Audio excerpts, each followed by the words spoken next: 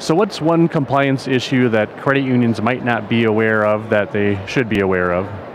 Well, I think one thing that has kind of flown under the radar for credit unions is the FFIEC guidance that was issued in November of 2016 that revises the compliance rating system.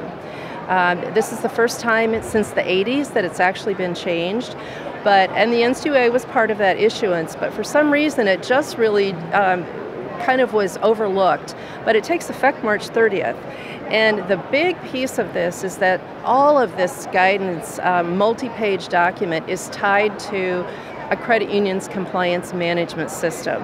And so it really just reinforces the importance of having a really strong CMS in place. What was behind this change? Why, why now after so long? I think the, the idea was to try and uh, create some consistency among all of the prudential regulators and also to take into account the effect of technology in um, exams. So I think it's very telling that all of the uh, federal regulators as well as state regulators came together in agreement to issue this. So it will be the same across the board for everyone, which makes things more fair. So if I'm a credit union compliance officer and I'm just the first I've heard of it, what, what advice would you offer me?